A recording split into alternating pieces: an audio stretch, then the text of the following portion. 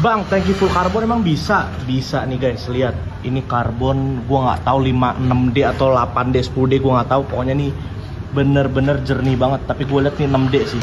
Soalnya motifnya rapet banget dan ini udah pet. Tuh. Gila.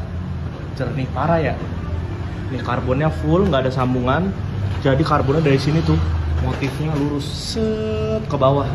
Slebel, bener-bener glossy banget guys nggak perlu bikin karbon asli kan mahal kan 4 juta 5 juta.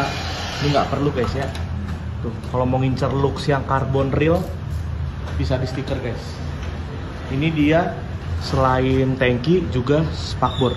Tuh spakbor full di karbon. No kan nggak kelihatan kan ini karbon eh, stiker apa bukan? Nggak akan kelihatan bro. Ini real karbon parah motifnya.